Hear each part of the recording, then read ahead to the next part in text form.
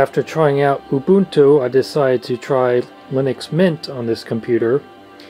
And I had it working beautifully, everything was running fine, and I was all ready to give it a very positive review until something went horribly wrong.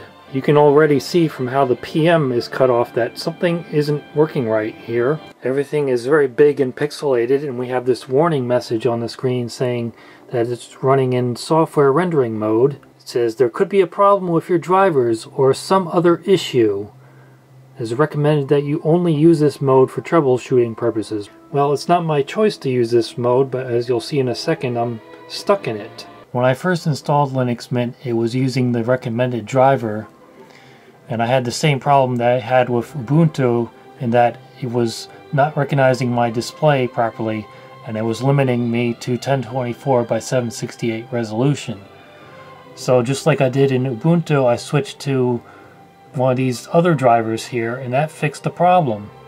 And it recognized my display, and I was able to use the full resolution, and everything was working fine. But then I did something stupid.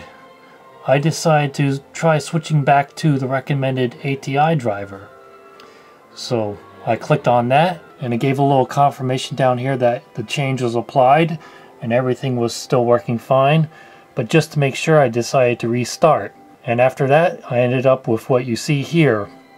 It's stuck in this manually installed driver mode and it won't let me change to any of the other drivers and as a result I'm stuck at 800 by 600 resolution. It's not even letting me go to 1024 by 768 like it was before and for some reason it thinks I'm using a laptop display.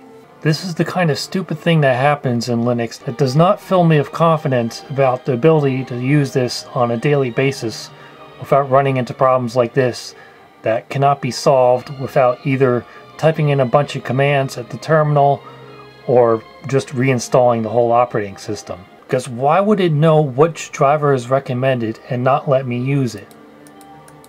This makes no sense here. At least in Windows, if the graphics driver screws up, you can delete it from your device manager and that will force it to reinstall the graphics driver.